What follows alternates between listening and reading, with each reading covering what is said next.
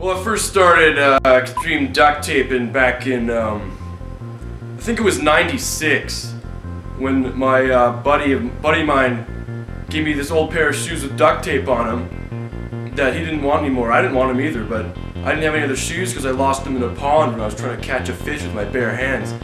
And um, I put them on in the winter, and I just noticed I started sliding down the road. I was like, wow, this could be an extreme sport. And that's what it's like when I go down the hill. I get all the air in my lungs. And I just shoot down that hill. I wanted to be just as good as everyone else. I know there's a lot of talk about how girls aren't equal to guys. That's not true. Shalia Bali Lama from India. They don't get a lot of snow there, but one time they did, and he duct taped, and it just inspired me through the roof. He knew the sport inside and out like the back of his hand, and it was every time I saw him just go down that hill. They probably think we can't do anything. They probably think we're useless at this sport. She could get a load from a good duct taper and get duct taper powers. My parents found out about my duct taping obsession. Uh, they were pretty cool with it, you know. My dad thought I was a little gay, but I said, hey man, I'm no homo. Fight back. This is where legends are made. Sounds good. Bruh.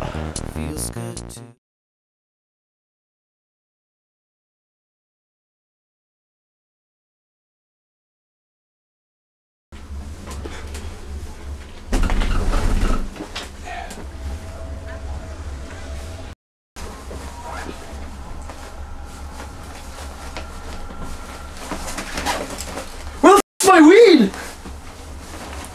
Where's my weed, bro? Girls are pussy. No, they're Fucking- not. Yeah, that How are they? Pussy, girls are made for my dick to be inside of. pussy. Do you want to go? Do you want to? Do you want to see what real men are like? Can't hear you fucking.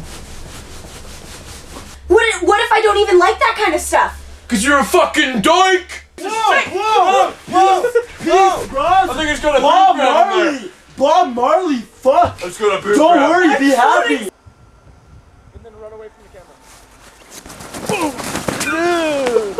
Get a picture! Bro, get a picture! Bro, get a picture with me and her! Whoa, dude. What? That's disgusting.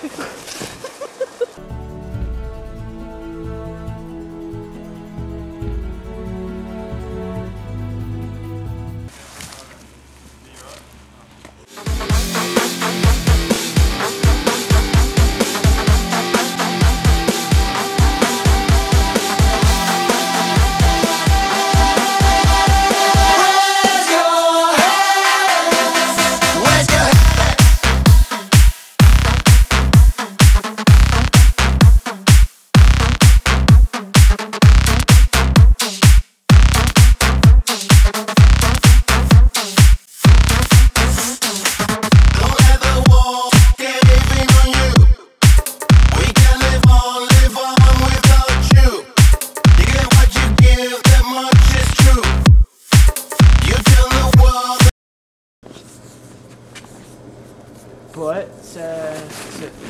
Butt sex.